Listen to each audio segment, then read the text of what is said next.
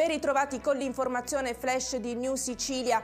Ancora emergenza in mare per la fuga di migranti dalle coste africane. 41 migranti sono stati salvati al largo della Libia su richiesta del Centro Nazionale di Coordinamento del Soccorso Marittimo. Il team di Medici Senza Frontiere a bordo della Geo Barents ha soccorso nella notte il gruppo in difficoltà in acque internazionali. Sono salvi e stanno bene sono stati fermati nella notte dai carabinieri tre presunti responsabili dell'omicidio del tunisino di 30 anni ucciso a sprangate all'alba di Capodanno mentre usciva dalla discoteca La Dolce Vita di Vittoria nel Ragusano. Sono due minorenni e un maggiorenne. Il movente, la frase di troppo che la vittima avrebbe rivolto ad una ragazza fiaccolata per la libertà di fronte alla casa circondariale di Piazza Lanza a Catania. L'iniziativa è stata promossa per manifestare contro la tragica situazione nelle carceri italiane.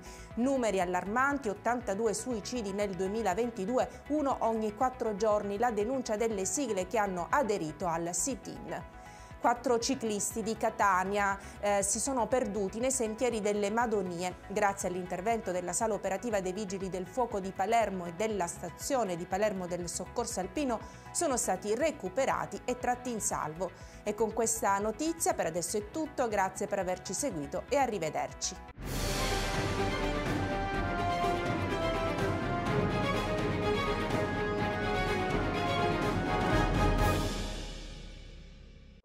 Natale ad Acireale.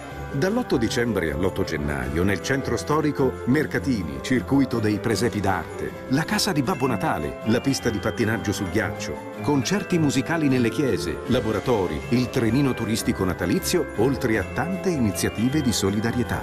Il 24 dicembre alle ore 20, Uzzuccu, tradizionale accensione. L'amministrazione comunale augura buone feste.